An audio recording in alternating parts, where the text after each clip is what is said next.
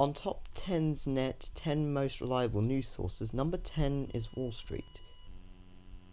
However, there is something that might contradict this. As you all might have known, recently there was a screenshot, well, many screenshots, but and a news article which I can't view because I'm not subscribed to them. But I do have a screenshot of one of their things, which is this. Apparently, there's been ads being shown on racist videos, and this has caused issues, which includes companies such as Microsoft and Coca Cola boycotting YouTube for advertising. However, one thing you should know about this is that this screenshot might actually be faked. First of all, you should see it says this. It says sign in over here. Which shows that the person who's viewing this is not logged in. It's also odd that this doesn't seem to have anything to do with this video, per se.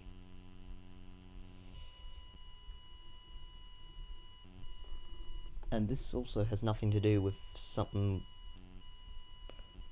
Well, I'm not even going to say it. Different news... The thing is, if you'd signed in, you wouldn't really get recommendations. Granted, it doesn't say recommended by, but it may as well. And if you si and if you're not signed in, I seriously doubt that you get adverts. And it's also kind of odd that it's giving credit here.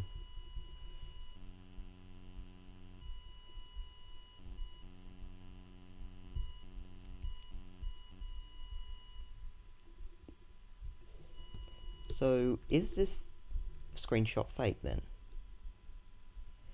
It might be, it might not be.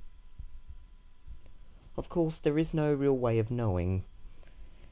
But the point is, you should not always take screenshots as evidence. There's been issues with PewDiePie over anti-Semitic comments after he was last created a 30 minute video blasting Jack Nicas, the one who wrote the article.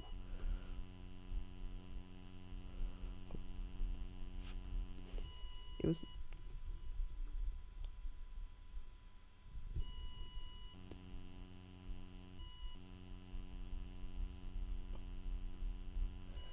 However, Wall Street still stands by its March 24th report and that the that the major brand advertisements were running alongside objectionable videos on YouTube.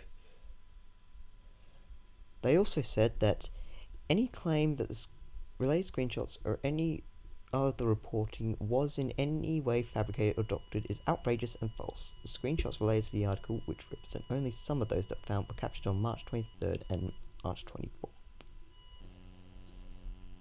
However, it does not mean that it's accurate. You, we cannot just take things for granted, really.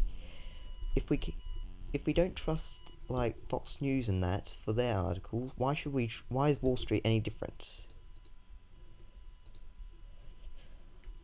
A while ago, someone on a website I use, which is ESB Encyclopedia SpongeBobia, made this for screenshots on chat. They say different things. However, I'm going to show you a look of them so you can see which one is fake and which one is not.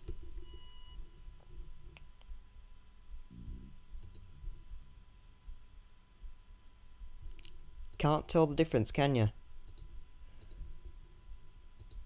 The blog says it's the second one, and there is logs to prove this on the chat, but it's actually fairly easy to do this.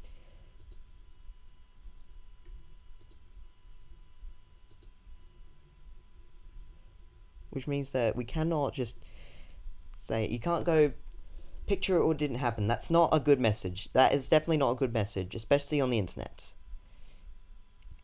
You don't even need Photoshop. to. Like, I use Chrome, and there is something known as inspect element.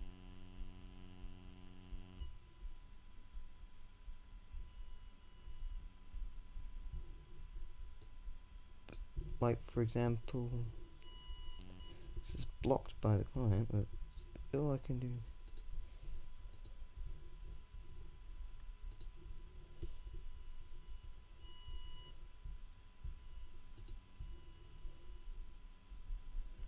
if I could try it, I could change the title of this.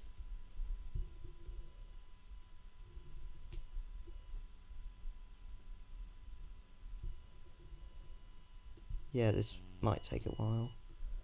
But it still is plausible and it still will prove my point.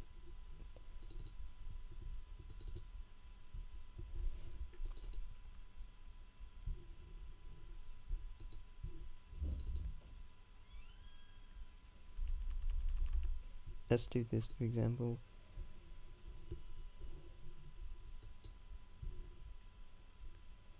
This looks real, but it's really not.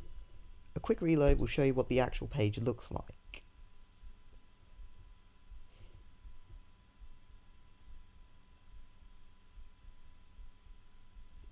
Yeah, it's actually very, very easy to fabricate screenshots.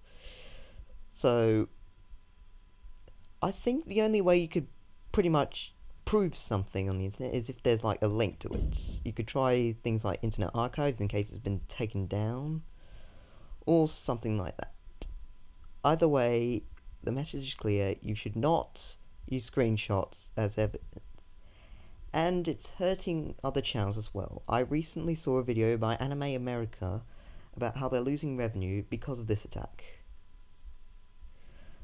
Now, I don't know if this is true or not. Maybe the screenshots were not fabricated. However, something does seem fishy about this. And there is also the possibility that the companies didn't know about this and it was really an accident because, well, you kind of just get adverts everywhere, really.